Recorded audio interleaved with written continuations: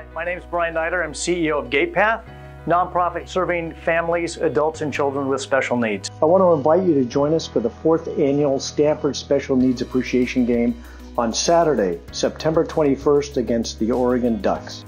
It's a fantastic opportunity for families with special needs children and adults with special needs to be able to go to a sporting event as the whole family and or with friends. We've had over 300 people attend the last two years. For many of the folks that have attended, the adults that we serve, was the first time they've ever attended a sporting event. For a lot of the families that came and joined us, it also was the first time that a lot of them have been able to go to a sporting event with the entire family. At the tailgate party, the Stanford cheerleaders stopped by, say a few cheers, take some photos. We then head over to the field for the game. You can support a family or an adult who can't afford to go by going to gatepath.org backslash Stanford. Or if you'd like to go yourself, just go to the website and we would love to see you there. Go Stanford, go GatePath. All right.